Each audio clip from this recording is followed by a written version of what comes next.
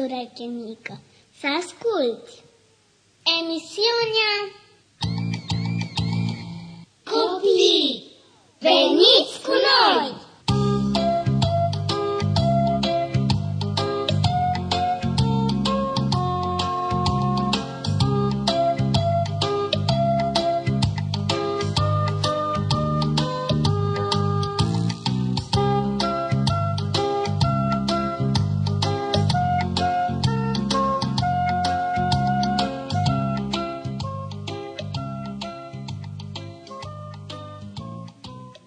Copii, bine v-am regăsit și astăzi.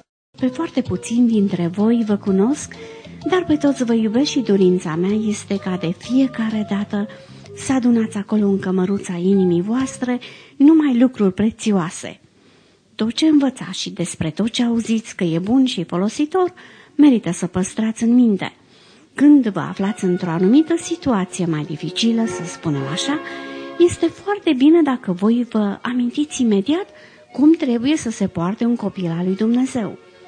Până acum am vorbit despre multe aspecte ale vieții, defecte și calități pe care trebuie să le aveți sau nu. Am amintit despre credință, bunătate, minciună, prietenie, libertate, fapte bune despre Domnul Isus, comoara noastră și multe, multe alte subiecte. Încă nu am adus în mijlocul nostru pe laudăroși, dar astăzi despre ei vom vorbi. Poate, poate, unii dintre voi mai obișnuie să se umfle în pene, arătând altora cât sunt de grozavi. Dar mă gândesc că dacă vor asculta cât de caragios sunt lăudăroșii, cu siguranță vor renunța la acest obicei urât și vor arăta toate lucrurile așa cum sunt ele, simple și adevărate. Nu vreau însă să vă întristez de la început, și de aceea propun să ascultați o melodie deosebit de frumoasă. Versurile ei ne spun că ne vom duce la Dumnezeu în care de foc.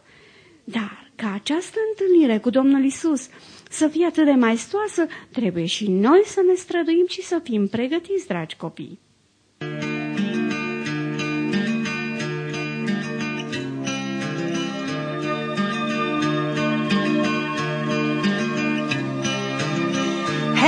about Enoch? He hopped out of this life, that man was no more. Did you hear about Elijah died? Nah, Toby did to heaven's door. What a fright, what a sight, just because he lived right, God picked him up with his hand. Do you get it? Licky, slick it, one way ticket, there he goes to the promised land. Chariots, chariots. If it happened to me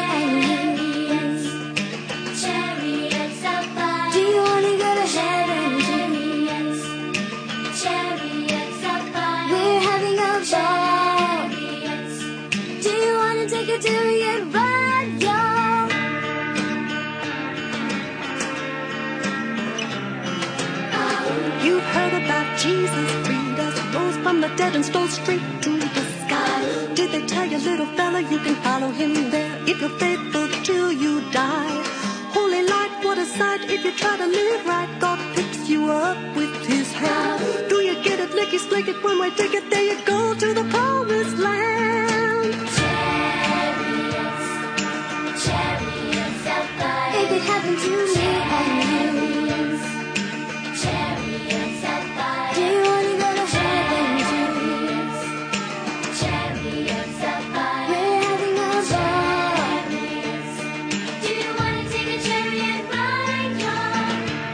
The Lord himself will come down from heaven, and those who have died and were in Christ rise first. After that, those who are still alive at that time will be gathered up with them and will be taken up in the clouds to meet the Lord in the air and will be with the Lord forever.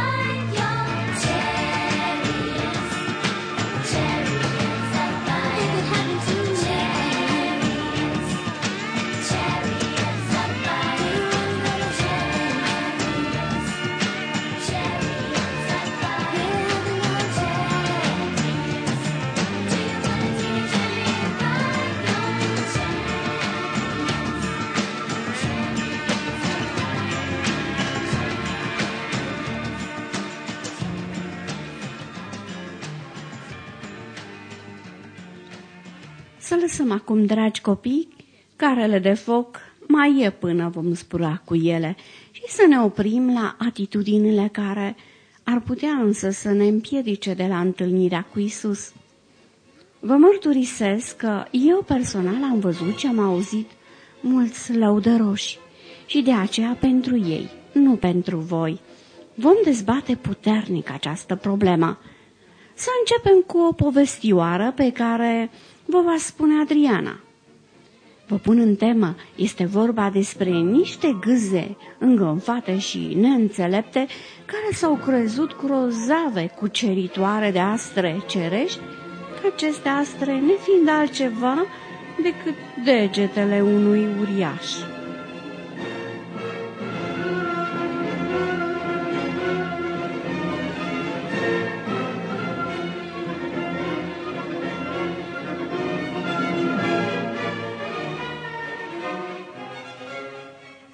Degetele uriașului. Odată, un uriaș a luat în palma sa lată cât podul casei o movilă de țărână.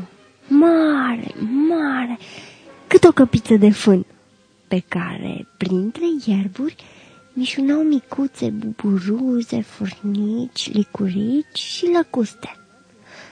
Lăcustele mai mari și îndrăsnețe s-au urcat pe vârful movilei de țărână și au ținut sfat. Una a strigat. Se compune un imn de slavă speciei noastre pentru că după cercetările celor mai mari savanți ai noștri, lăcusta este cea mai evoluată ființă și nu există nimeni mai presus de ea. Altă lăcustă a spus.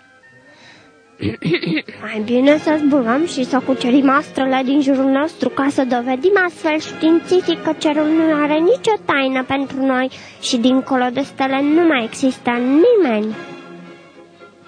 Și, îndată cele mai bune lăcuste săritoare au început să se pregătească, să cerceteze legile corpurilor cerești din preajma lor și apoi s-au avântat și au sărit pe astrele ce le zăreau în înălțimi. Cinci astre au fost astfel cucerite. Erau cele cinci degete ale mâinii uriașului pe vârful cărora stăteau acum lăcustele strigând. Am cucerit aceste astre noi, am dezvăluit tainele cerului, am spulberat miturile și legendele mai presus de noi, nu există nimeni! Nu știu dacă uriașul a mai ținut mult în palmă mărunta movilă de pământ pe care mișunau acele minuscule vietăți, sau o fi asfurlit-o scuturându-și palmele.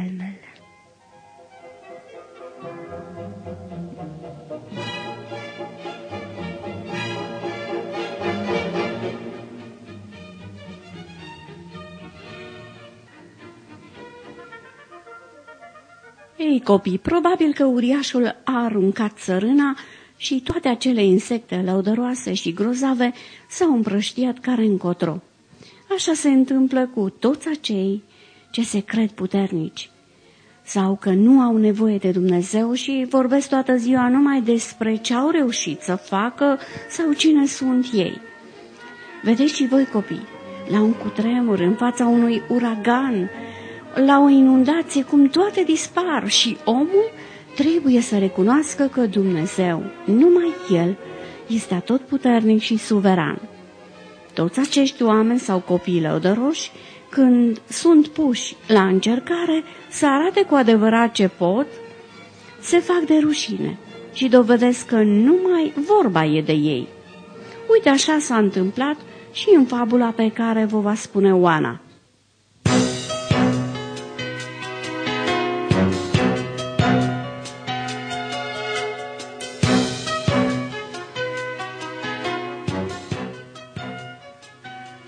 Butoaiele, după Alexandru Donici.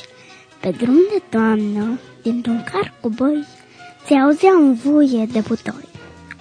Eu sunt bum, bum, butoiul, care bubui pe drum. Sunt bucuros ca un volum, că doar nu buburuz sau bolovan să tac băștean, ca ăst butoi, ce zace alături bubutit ca un bubol.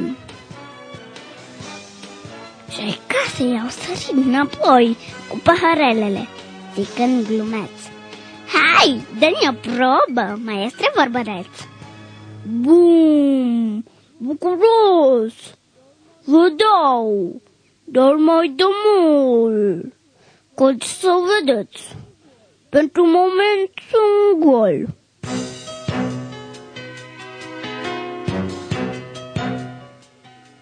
Tu, ți-au zis butoiul lui vecin, nu spui nimic? Nu pot, sunt plin. Și s-au umplut paharele de vin. Și acum, morala își dă tributul. Atunci când e Hristos în noi, nu mai vorbește doagă de butoi, ci conținutul.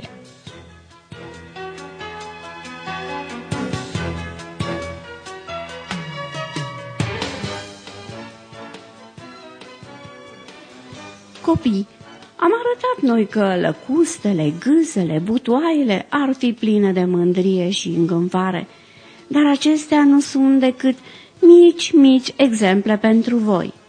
Numai oamenii pot avea sau nu acest defect și uite ce pățesc cei care îl au.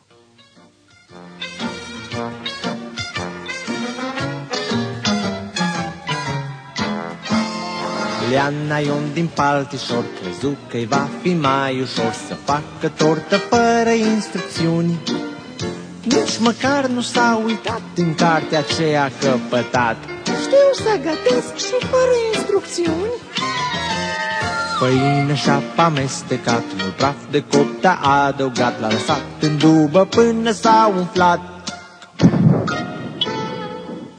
Leană Ion din Paltișor Nu i-a fost chiar așa ușor. Cu o zi întreagă casa curățat Apoi și-a spus Urmează instrucțiunile de vrei tortă de mâncat Urmează instrucțiunile de nu ai de curățat. Aha. Vasile Andrei din Bălticei Credea că are bune idei Și-a vrut avion de plastic a monta dar în loc să-l pună cum scria El îl lipea și-și mormăia Vasile, tu la toate te pricepi De la etaj lăsa să cadă Zboară să îl vadă Dar avionul ca o piatră căzu Vasile Andrei din Bălticei Acum avea alte idei Și-a spus după ce avionul căzu Măi, citește instrucțiunile Să știi cum să lipești Citește instrucțiunile că de nu te tânguiești. Măi, măi, măi, măi. Ana din Sântana Făcea ea pe cucoana. Când a început o haină aș șcroi Zicând Nu-mi trebuie tiparul, e ca și abecedarul Atâta pot și eu a gândi Tăie cu sus și mult munci Apoi haina și-o potrivit Dar avea cu mâinecă în plus. Ana din Sântana Făcea ea pe cucoana Cu mâinile în păr ei și-a spus Măi, Ianu, urmărește instrucțiunile înainte de a tăia. Urmărește instrucțiunile de vrei haina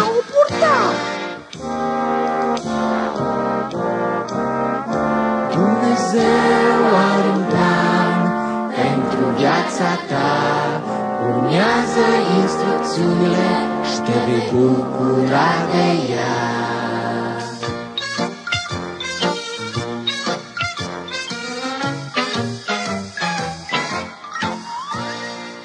Da, copii, se pare sau, mai bine zis, sigur, cine nu trăiește modest, cine se grozăvește o termină rău.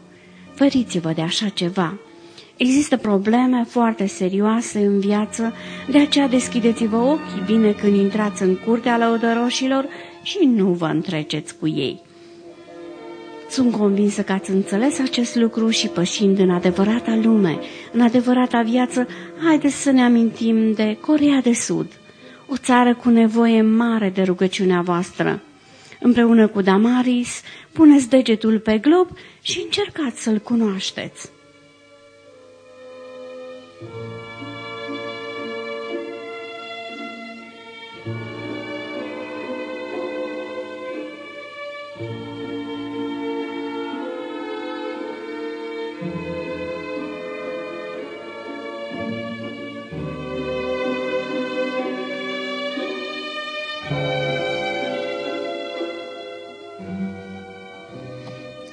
de Sud, țara dimineață liniștită. Drapelul corean prezintă simbolul chinez al lui Yin și Yang. Liniile simbolizează cele patru anotimpuri, punctele compasului și pământul, cerul, soarele și luna. Numită și țara dimineții liniștite, Corea este o țară minunată. Râurile, munții, pădurile, florile și păsările sale i-au inspirat pe poeții, pictorii și olarii coreeni. Ei îndrăgesc muzica și dansul prin cântăreți talentați. Din păcate, Coreea n-a cunoscut o pace adevărată de 50 de ani. După al doilea război mondial, țara a fost împărțită în două, Corea de Nord și Corea de Sud, iar Nordul atacă Sudul. Nordul deveni o țară comunistă, în timp ce Sudul avea un guvern mult mai deschis către restul lumii.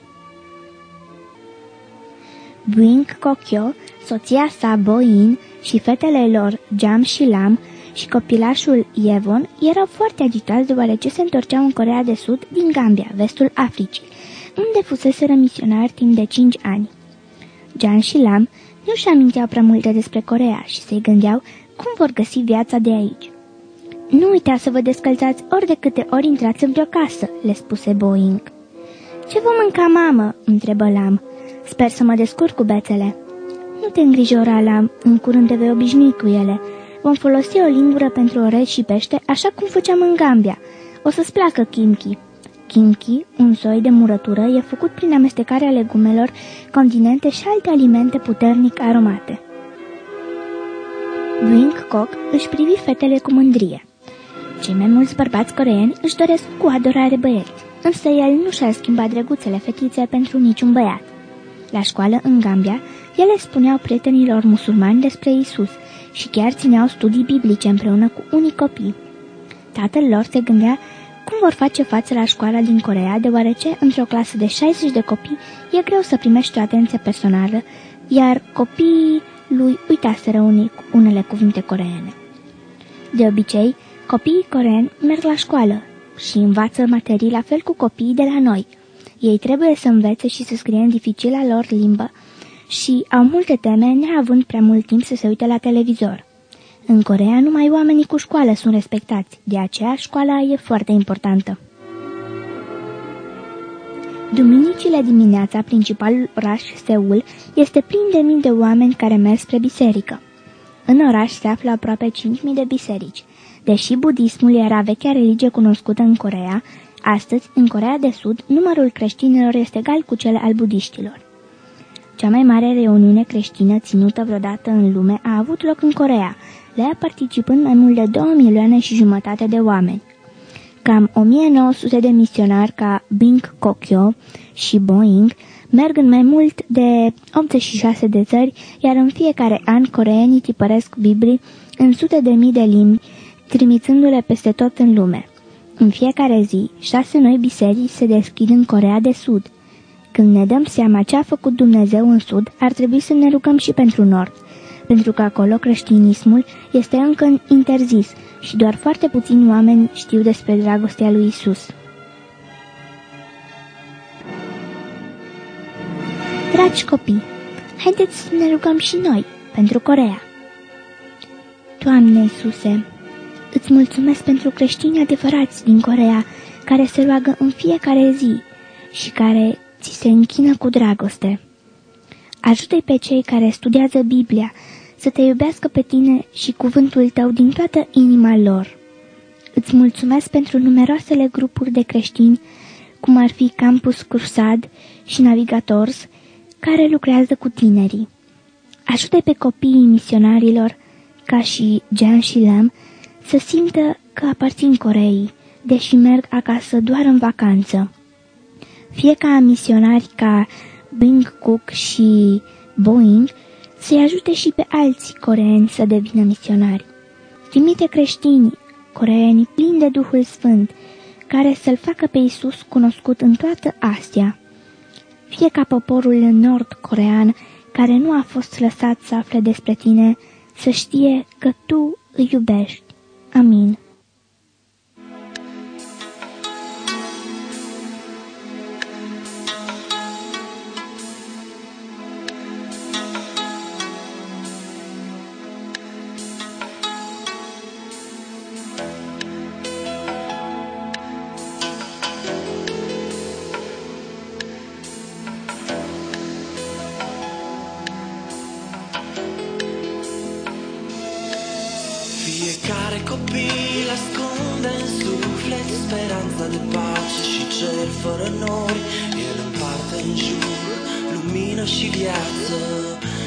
Soarele în zori. Fiecare copil în inimă poartă dovezi de iubire și dor nesfârșit. Ce bogați am fi de-am cunoaște iubirea ca un copil. Fiecare copil visează o lume mai bună, mai frumoasă, cu cerul veșnic senin.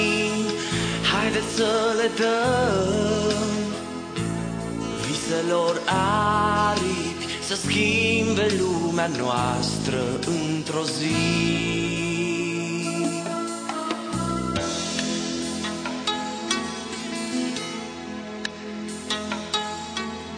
Fiecare copil știe să alunge Tristețea din suflet cu un zâmbet mereu și într-o clipă apar primăverile toate În cântecul său.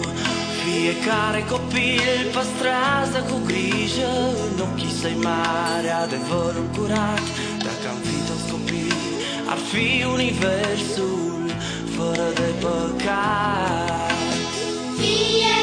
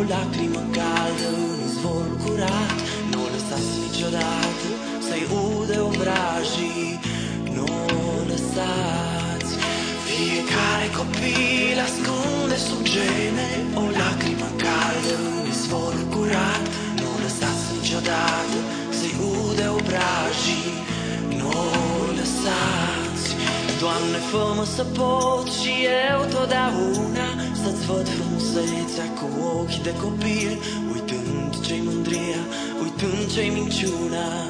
Doamne, fă-mă copil